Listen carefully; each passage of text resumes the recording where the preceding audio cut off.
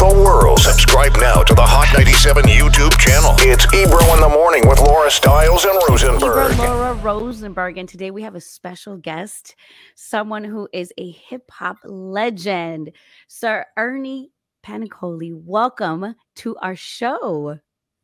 Thank you. It's a pleasure and an honor to be here. And uh, I'm grateful. That's all, man. Sir, you have captured uh, some of the most iconic images in hip hop. Rosenberg and I were going through some of your photos, and you, you know, and and such incredible moments. You know, I have um, I've had the pleasure to have a, a, a little relationship with your daughter Melissa, who's amazing, we shared so many gems. She champions you like no other. And it is just a, a, privilege and an honor for us to have you today. And we're excited to talk about your book and everything you have coming up and before we kick things off, we just want to say happy birthday because I know you just celebrated a birthday. Yeah, a very ancient birthday. well, that, Wait a second. I got to put this out there, and I don't want all the rappers in in America to to come, you know, looking for me. But I'm the only got the only man in hip hop that admits his age. well, tell us what is it? I'm I'm 75, but the thing is, uh, all the rappers do some special math where they take 10 years off. So I'm I'm the only man in hip hop that doesn't do that. Well, Ernie, I ain't mentioning no names. Don't get don't Oh no, no, it's everybody. Don't you worry about that. Now, if you if I've I've spent a lot of time uh, browsing the amazing Cornell University collection. Um, they have tons, th- I think twenty thousand of your photos available online that we can all just look at and enjoy in a digital library through Cornell. So some of these go back, I can see certainly to the mid 80s. When did you first start pointing your camera towards hip hop culture? In the 70s. And it happened ironically because my son used to skate at the Roxy. And um, we, I would take him every Saturday to the Roxy. And the Roxy always had somebody, whether it was whoever it was, uh, Flash was a DJ or whoever so um, he was born in 69. So by 79, he was at the Roxy every weekend. And that was crazy because every every little raggedy kid from all the boroughs and everywhere would be there on a Saturday and a Sunday. And, you know, all the exhausted parents standing there. But that was uh, one of the first places that we were all exposed to hip hop. And what did you think of it? Like, I, I'm trying to think about how one would have processed it without, you know, the context that we have now. What did you make of it musically? Did you immediately think this is going to be something really big, or did it just feel like sort of a, a local new form of expression that was interesting? Well, I have to get rid of some misconceptions that I think are very present first, there was no such word as hip hop back then. Mm-hmm. Fact. Second, hip hop, as we know it now, is four main elements, with a fifth element being, you know, wisdom, knowledge, understanding. And at that time, a b-boy had nothing to do with a DJ. A DJ had nothing to do with an aerosol artist. So uh, I didn't see it as a cultural unification yet. Very important that we understand that. And just for background, it was later that people realized that each of these four elements were art forms and that they all came from the street and that they all had common geographical and spiritual and energy and, and racial uh, projection that that created these these four elements. And uh, i think it was cowboy bambaataa um, Lovebug Starski that started calling it hip hop, and they got that. And uh, like KRS One says, hip hop means hip means that we're the hippest people on the earth. Hop means we got the most energy, so they made the term hip hop. It's so cool. wow. Yeah. Um, go ahead, Rosemary. No, I'm just looking. You have so many amazing subjects, um, and you were just around so much. Um, who are some of your favorite people to shoot? Uh, your your pictures of Biz, uh, God bless the dead, the amazing Biz Markie are phenomenal. Um, but you have so many subjects that you just seem to gravitate to. I mean, it's literally if you look at Ernie's book, which is out right now and is amazing, getting phenomenal reviews, one of the biggest photo books in the world right now.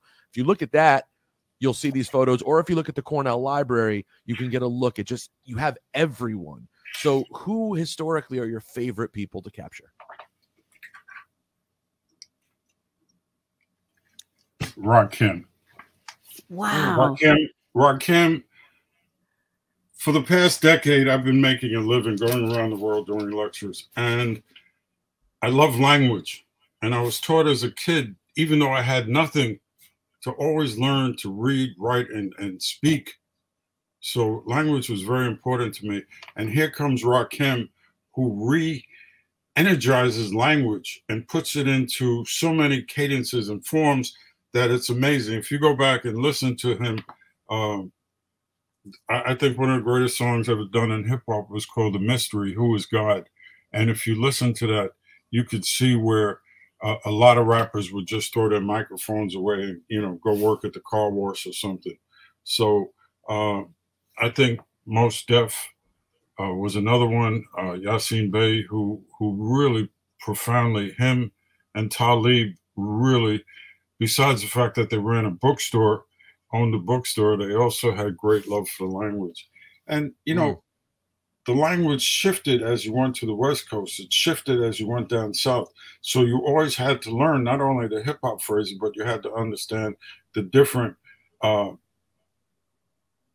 use of language and all of that. And that's what one thing that I loved about hip hop and rap music. And everybody needs to understand that hip hop is five elements, not just mm. one. We get hung up on the music because that's something you can listen to, but it's graffiti, which is what drew me into hip hop. It's the MC, the DJ, and of course the dance. Uh, I've gone all over the world and photographed artists dancing, uh, b-boys, and I'm, I'm, you know, the more I just can't even believe some of the things I've seen. It, it borders on acrobatics. I, I yeah. think that when you talk about breakdancing, b boys and b girls, uh, to your point, Ernie, because I know I've seen some of the OGs like Crazy Legs to this point.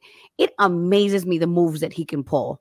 Like I have seen him host like you know recent you know um, dance battles or, or kids that are just still keeping the culture alive by practicing breakdancing.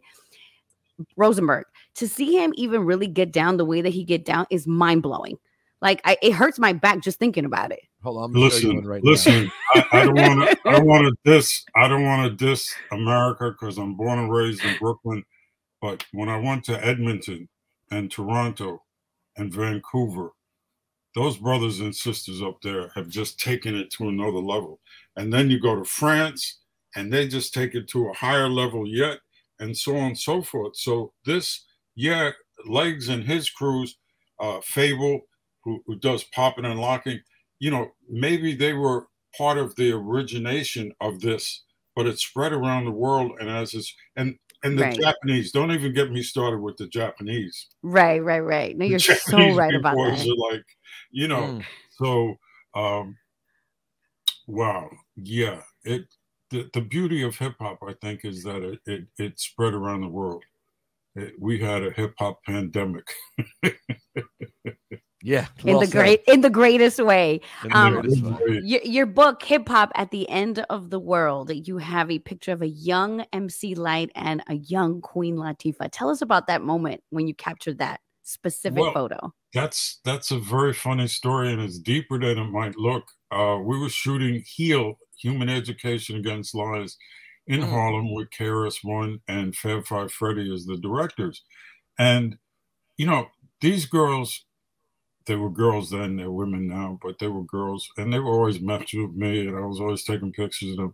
And I don't know what happened. Somebody put on a beat and they started dancing together and they were just so and I said I, I started to take a picture. They just looked at me and they were like and Why are you taking just, pictures of me? it was just it was just one of those moments. And me and Law, you know, we're from Jersey, so you know, Latifah. Uh, it, it was just a classic moment. But when we got ready to do the cover of my book, Hip Hop at the End of the World, my editor, Hmm. he Luna, he says, wait a minute. He says, I do not want this cover and this book to be a sausage party. So I scratched my head, a sausage party. And it took me a minute to understand what he was saying. And he said, What do you think of this picture? And he shows me this picture. And, you know, I said, I'd love it. He says, Good, because that's the cover. And, you know, he was half joking, meaning I could still make a choice. But the picture just had so much energy. And with all the women's movement and so on and so forth, I think it's about time that we have something other than a big sweaty guy with a hacksaw or a shotgun or some craziness. So uh, I, I think that the humor in the cover is a lot deeper. Plus, if you look at them two, they loved each other. They just, they were like, It's a beautiful glove. photo. They- they just perfect. And you didn't want to diss them and you didn't want to mess with them. Trust me. That's They were not the people you wanted to play the dozens with. Oh, Laura, Laura, look at this gem. Ugh, Clark Kent so good. Clark Kent. Young Look how Clark young Kent. she looks. Smooth Clark Kent with the with the four finger ring, the Raiders, Raiders hat, hat. glasses. oh, Ernie, man. I've seen some photos of uh, taking it back to um to some summer jams because you definitely captured some special moments of Hot 97 summer jams. Can you tell us a little bit about your experiences backstage and shooting some of the artists? Um, I, I don't know if it's my size. I don't know if you could tell I'm a big guy, and uh, nobody ever messed with me. And I'd walk into these places, and the security would be like, and they'd just look at me and wave me in, you know, because I didn't look like some fan of some teeny popper. And um, it, it's funny the difference between backstage and you know on stage and in real life. Backstage, a lot of these brothers and sisters hadn't seen each other for months or sometimes years, and there's just an energy. And the beauty of what I do and, and my place in it was that they saw me as like an uncle. You know, I wasn't like an intruder or somebody from the press or the media. I was like an uncle. They're like, oh, hey, Ernie, what's up? You know, it was just like I was that, I had that very coveted fly on the wall Mm. uh, position in hip hop, and that that gave me access to everybody. Plus, they knew that I would never photograph anything that was negative or scandalous or, or harmful or ugly or you know if somebody's you know doing this or that, I'm not going to a I'm not going to photograph it, and b if I accidentally did, it would not be you know publicized. So I had that trust early on. Is there anybody that you never had the pleasure of, of capturing that was always sort of like that one elusive person that for some reason you just never ended up in the same room? Hmm.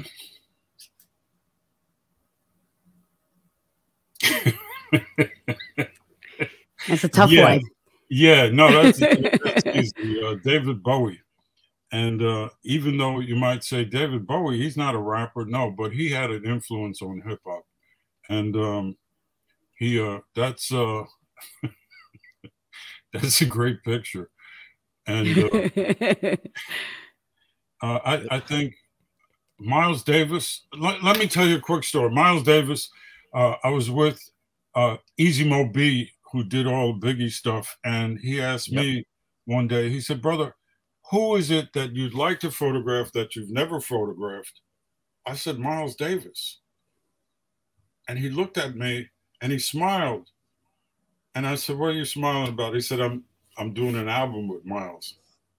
So I was like, he said, Would you like to come to the studio and photograph? That's like asking somebody if they like a new Bentley or, you know, you know, it was just so I said, Of Right. course. And then what happened was each time Miles was in the studio, I was on location or in another country or whatever, or the times that uh, I was available, Miles didn't show up. And one day I was in a hotel somewhere in some city, and uh, I had the, you know how you keep the TV on, you're laying in bed and you're, you know, you, you the TV's on and, and you're not really listening to it. And, and there were all these collages of Miles Davis, and I knew he had passed, so I missed that opportunity. and Miles was Mm. somebody I wanted to shoot. Uh, David Bowie was somebody I wanted to shoot. In hip hop, I don't think I've ever missed anyone. I, I think I've shot everybody. The one shot that I wanted, I never got, which was all, you know, nine of the Wu Tang together. But I shot all nine of them individually, and I shot half of them before they even became part of Wu Tang when they were still the genius and, uh, you know, um, that's Prince another- Rakim. Prince Yeah. Rock. Oh, we love you, Rakim. Exactly, exactly. Ah, what about uh what about this photo right here? Do you have any memories of this one? This is a, a tri- it looks like a tribe called Quest. Um, I see Charlie Brown from Leaders. I think Russell, a weird looking Russell Simmons. in the middle. yes, isn't that Laura? a very young Russell Simmons. That's right. yeah, and also Uh, too. Yeah, and then also, yeah, uh, any recollection?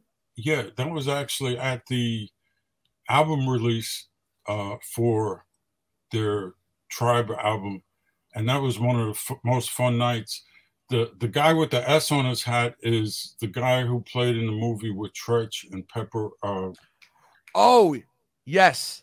That's the dude who's in um in that I thought that was Charlie Brown. That's the dude who's in Juice. Yeah, yeah, yeah, yeah. And um, you know, it's funny you show me a picture of Phife because I just got this from his mom. Hmm. Mama Phife Wow. represent, and uh, she wrote a beautiful little piece in there. And uh, Phife was really special, man. Q-Tip is special. All of them. Ali, I got a parking ticket once, got my car towed, and Ali gave me money to go get the car out. And I went back to the shoot, and I showed him the ticket to let him know, you know, it wasn't a joke. And he started laughing. I said, What's so funny? He said, Look who wrote the ticket. And the guy who wrote the ticket was named Shahid Ali. so, you know, only- yeah, yeah, yeah, oh, yeah. so good. that's when right? that's when Tribe had four members. Uh Jarobi was still, you know, in the group. Yep, and and and was gone for a while there in the middle until this last album when he came back and probably had his biggest presence ever. Um, this, how did you decide what what made sense for the book, and also, do you have stuff that didn't make the Cornell collection, or do they Jeez. basically have everything? brother. Cornell happened 12 years ago. I have 12 years of work that they did not incorporate. I also have um, much stuff that didn't get to Cornell that I only found recently. You know how uh, you're going through a box and you know you see shoes inside, you know, and then you find you know 300 photographs that you had never seen, and that's like your birthday and you know Halloween and Christmas all in one. So yeah, I have a ton of pictures uh, that never made the book, and uh, I'm glad you asked. Are you ready? May I Yes. take a deep breath? Please. Oh my goodness. Take Oh, take she a looks deep gorgeous. take a deeper breath. Well, so these are just these are just portraits that you took. Wow. That's, Chuck D, Ice T, Lauryn Hill. Wow. Oh, two two of the late greats, Two legends. Humpty oh, Hump and God. Guru, Shock G and Guru. Look at Hove a and baby 50. face 50 Cent. These are incredible portraits. Wow. That's that's the genius. The genius And and, meth. and, and, and- and meth. meth. Wow, with the bl- tightly rolled blunt for meth. Salt and Let me pepper. See. Oh man, these are amazing. Look at Salt-N-Pepa and Spinderella. Wow, and Kane and Flay. This is unbelievable stuff. Well, I'm working on a new book, and it's going to be a limited edition, but it's going to be high art. I want to make a marriage Wow. between three things that never got married before: art, photography, and hip hop. Period. And I think that it's way, way, way overdue that we have that marriage. Oh my lord. Can you share with us some early um Mm. some early experiences, early moments with uh, with BIG? the first time I met him, we were doing New York Undercover. Remember that show? Of course. course, yes. And I was with, I believe, Ice T, Erick Sermon, Ice Cube. I don't know, a whole bunch of people were at the Palladium and they were filming a scene. And I had two cameras and it was sweaty. And I walk up to Biggie And I said, Hey, Biggie, I'm Ernie. What's up? I'm brother Ernie. And he pushed me away and he started cursing at me. And I was like, he said, I don't give a, you know, and he, I take my cameras, I put them on the floor, and I step to him, man. And Erick Sermon, you know, he's a big guy. He jumps in between us, and the, you know, other people are, and I'm ready. And Biggie looks at me and he goes like this. He goes, I said, What you laughing at? He said, Fool, we went to lunch last year. I said, What are you talking about? He says, I know you. We went to lunch. He said, Remember we were at the Mary video and we went to lunch? I said, I remember going, that, that couldn't be you. He said, eating better now, Gucci sweater now, you know, and doing the whole thing. From that day forward, we were best friends. But from that day forward, I never trusted him because every time I turn around, he'd, he'd try some. He had an incredible sense of humor, and he liked me because I, you know, I was like, I always seemed surprised by his antics. Like I was in a room with him, and I went to the restroom, come back, my camera's gone. So I'm like, Biggie, where's my camera? He says, he starts cursing at me and chest bumping me and telling me I ain't here to. I'm a, I'm an artist. I'm a rapper. I'm not supposed to be watching your stuff. And you know, he's all serious, and everybody in the room was like. And then I look over at the couch, and they hid it under the couch. I said, "You, you know," but that's the type of stuff he would do. He had a beautiful sense of humor, and I'm not going to front. I cried when they, you know, when he passed. Mm, And um, we all did. yeah, and um, you know that's the elephant in the room is the the violence in hip hop and the unnecessary violence and the the, the madness. But uh, Mos Def said it better than we could. He says hip hop is not some giant living up in the hills. It's us. If we're whack, our music is going to be whack. Our lives are going to be Yeah, whack.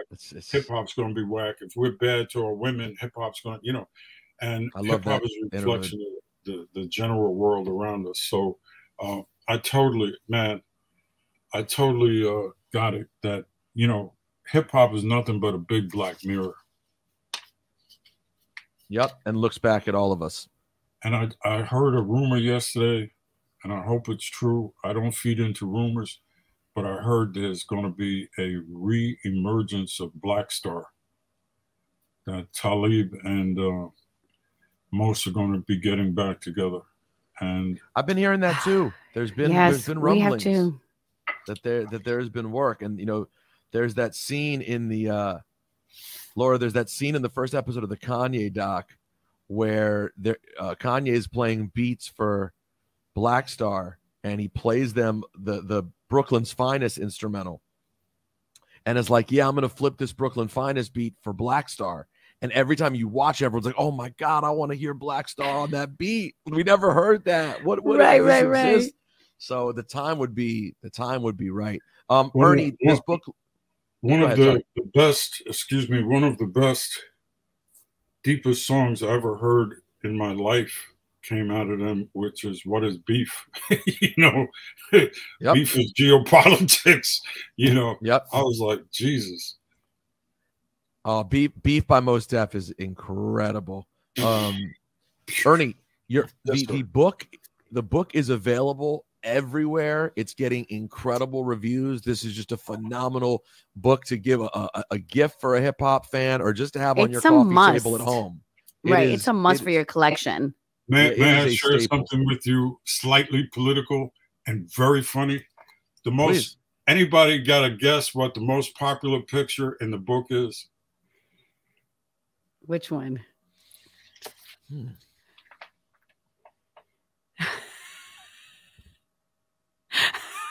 Wow. That's incredible. Wait a second. I shot that in 1990. And that's But I'm confused. Marlon Where's this, where was this photo LL. from? It's Pardon? Marley and LL holding Yeah. a check that says insufficient funds from Donald Trump. A What is check, the story yeah. behind that? Pardon? What's the story? Oh, the story was LL was on uh, the Letterman show, and we were in the prop room taking pictures, and they saw that insufficient funds and they held it up, never knowing that you know so many years later that would come and people from around the world send me emails at brother ernie at gmail.com and they all say that's the funniest picture in the whole book and it's the truest picture and it also shows what those of us in new york already knew but uh yeah yeah, boy, as my man Flavor would say. Ernie, thank you. It's been a pleasure. The book is amazing. Congrats. And when you drop that uh, art, hip hop photography book, we'd love to have you back and talk about it again. Please. Thank you. If you if you ever have a question about anything, call me and uh, if you have a question about hip hop, if you need anything, if you need a contact, I don't care what, call me. And uh, I'm a simple man, just turned 75, and I give thanks for every minute. If you go to YouTube, I have a video called Thank You. And I think it sums up everything. And I will end this from the heart saying thank you. Thank you It's so been a pleasure Ernie. for us. Thank you so much. And get the book Hip Hop at the End of the World available everywhere.